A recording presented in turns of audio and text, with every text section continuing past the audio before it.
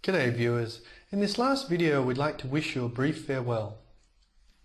Well the main thing we'd like to say to you is congratulations. We know that this is a very long course and if you've made it this far we've covered a lot of material and we're confident that you've learned a great deal about computer networks whether you've been doing the homeworks or not.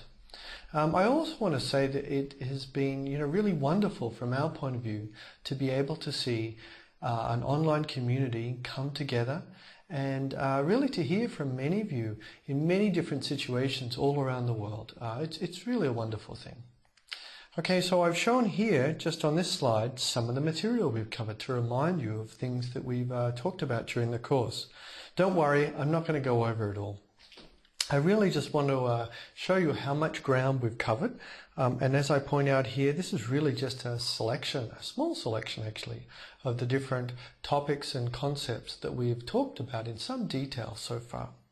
Um, I also hope, you know, now that you have this, uh, this picture of networking, that this is really the beginning of your networking journey. You can um, build on the knowledge that you have now as you use practical tools like traceroute and so forth to debug your own home networks and understand what's going on. And I also expect as you learn more about different kinds of networking technologies in the future, that uh, you'll be able to add that knowledge uh, into your sort of knowledge base just by knowing how it fits into this conceptual framework. So one thing that I really do want to do is to say a special thanks to all of the course staff. Uh, you're all familiar with the, the iceberg analogy. Well, you get to see me up top here as a presenter in all of these videos. But really, as I'm sure all of you realize creating a course like this is a tremendous amount of effort.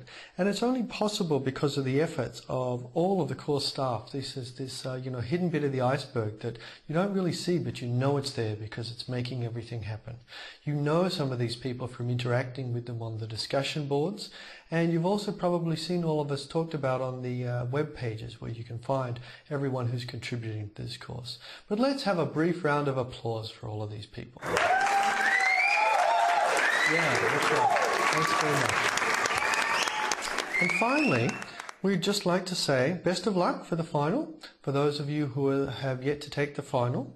Um, in addition to that, we'd ask you just to take a brief moment to give us a little bit of feedback on how we're doing with an end of class survey, also with the discussion board, however you like. Um, if you don't want to spend a lot of time, one thing that's helpful to us is just if you upvote or downvote um, other comments, depending on whether you agree with them or not. Uh, the, the reason is we're really looking to understand what to do, what changes to make to improve this course in future iterations. And there are many possible things we could do. We can't do them all. So we really want to know which ones are the most important changes that we could make for the next iteration.